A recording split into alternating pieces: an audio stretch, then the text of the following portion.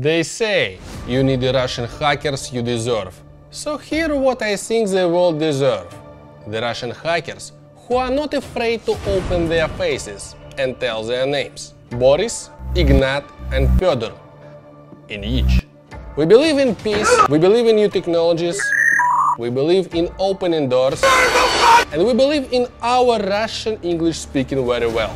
No, English немножко. We want to hack the governments to save our planet. We are normal men, and we have never forgotten from where we come from. We believe in pointing people in right direction of total equality under my absolutely leadership. They say you need the Russian hackers you deserve. So I think the world deserves Boris, Ignat and Fyodor. And in your heart, you know I'm right.